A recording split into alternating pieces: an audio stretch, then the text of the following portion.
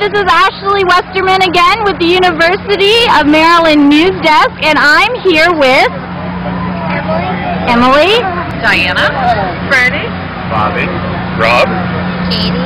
All right, and can you? And are you assuming you all are uh, all a family, We're right? sisters, yes. All right, and can you tell me why you came here to Maryland Day?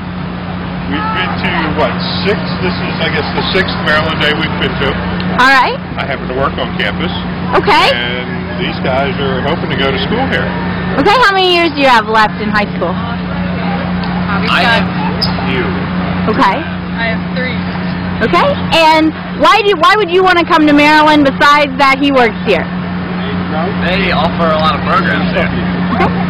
It's fantastic. All right. And why would you like to see them come to the University of Maryland I besides that work you here, and I get tuition remission. All right. Thank you so much. okay, thanks.